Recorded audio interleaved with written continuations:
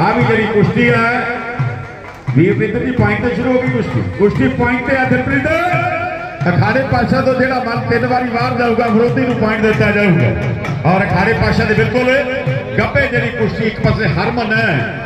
ਆਲਮਗੀਰ ਅਖਾੜਾ ਦੂਸਰੇ ਪਾਸੇ, ਕਾਕਾ ਕਹਾਲੀ, ਪਦਾਰਥ ਪਹਿਲਵਾਨ ਦਾ ਪੱਠਾ ਕੁਸ਼ਤੀ 2 ਨੰਬਰ ਦੀ ਸ਼ੁਰੂ ਹੋ ਚੁੱਕੀ ਹੈ। ਇਧਰ ਪ੍ਰੈਸ ਤੋਂ ਸਾਡਾ ਭਰਾ ਹਰਮੰਸ ਲਾਲ ਜੀ ਸੂਟ ਦਾ ਪਹੁੰਚੇ ਹੋਏ ਹੈ।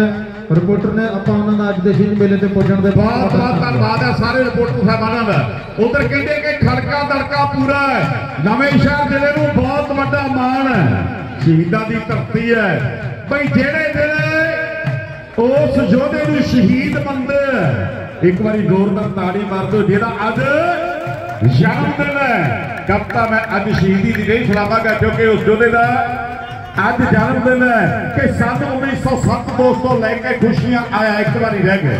ਸੰਨ 1907 ਦੋਸਤੋ ਲੈ ਕੇ ਖੁਸ਼ੀਆਂ ਆਇਆ ਕਿਸ਼ਨ ਸਿੰਘ ਦੇ ਘਰੇ ਸੂਰਮਾ ਭਗਤ ਸਿੰਘ ਸੀ ਆਇਆ ਅੰਗਰੇਜ਼ਾਂ ਦੀ ਲੁੱਟ ਕੇ ਛੋੜੀ ਐਸਾ ਕਤਲ ਬਚਾਊ ਕਰਕੇ ਦੇਸ਼ ਆਜ਼ਾਦ ਸੂਰਮਾ, ਲੁੱਟ ਕੋ ਜੁਗ ਪਲਟਾਊ, ਸਿਫਤ ਕਰਨਾ ਦੋਨਾ ਕਰਨ ਦੀ ਨਾ, ਸਾਹਮਣੇ ਬਲ ਕੋ। ਲਾਹ ਸਾਹਮਣੇ ਕਹਿੰਦੇ, ਦਿਲਪ੍ਰੀਤ ਬਰਾਲਾ ਤੇ ਮਨੀ ਗਿਲਾਰ ਪਰਾਈਆਂ ਦੀ ਕੁਸ਼ਤੀ ਜਿਹੜੀ ਪੁਆਇੰਟ ਤੇ ਚੱਲ ਰਹੀ ਹੈ। ਪਰਲੇ ਪਾਸੇ ਹਰਮਨ ਆਲਮਗੀਰ ਦੇ ਨਾਲ ਕਾਕਾ ਹੈ, ਗੁਹਾਲੀ ਵਾਲਾ ਹੈ।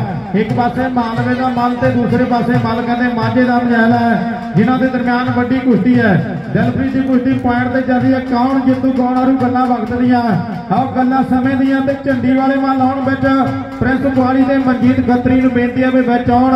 ਅੱਜ ਦੀ ਵੱਡੀ ਕੁਸ਼ਤੀ ਵਾਲੇ ਮੱਲ ਕਿ ਚੰਡਿਆਂ ਕੜਾਸਿਆਂ ਦੇ ਵਾਰ ਨਹੀਂ ਉਹ ਚੱਲਦੇ। ਹੋਣੀ ਅੱਗੇ ਕਦੇ ਹਥਿਆਰ ਨਹੀਂ ਉਹ ਚੱਲਦੇ। ਉਹ ਕਾਹਦਾ ਬੰਦਾ ਦੋਸਤੋ? ਜਿਹਦੇ ਪਿੱਛੋਂ ਪਿੰਡੋਂ ਬੰਦੇ ਚਾਰ ਨਹੀਂ ਉਹ ਚੱਲਦੇ। ਫਤਵਾ ਸੋਨੂੰ, ਕਿਸੇ ਕਿਸੇ ਕੁਸ਼ਤੀ ਵਿੱਚ ਸੁਪਰਸਟਾਰ ਨਹੀਂ ਚੱਲਦੇ। ਤਾਂ ਜਲਦੀ ਕੁਸ਼ਤੀ ਦੇ ਵਿੱਚੋਂ ਤਿੰਨ ਵਾਰੀ ਬਾਹਰ ਜਾਣ ਦੇ ਨਾਲ ਵੀਰ ਵਿਜੇ ਜੀ ਦੱਸਿਓ ਲਾ ਦਲਪ੍ਰੀਤ ਫਰਾਲਾ ਜਿਹੜਾ ਜੇਤੂ ਦਾ ਤਾੜੀ ਮਾਰ ਦੋ ਜ਼ੋਰਦਾਰ। ਇੱਕ ਜੋਰ ਦੇ ਨਾਲ ਮੱਲ ਨੇ ਕੁਸ਼ਤੀ ਜਿੱਤੀ ਹੈ। ਲਾ ਸਾਹਮਣੇ ਦੇਖਾਂਗੇ ਹਰਮਨ ਆਲਮਗੀਰ ਤੇ ਕਾਕਾ ਕੁਹਾਲੀ ਦੇ ਦਰਮਿਆਨ ਕੁਸ਼ਤੀ ਆ। ਹੋ ਗਈ ਬੱਲੇ ਬੱਲੇ।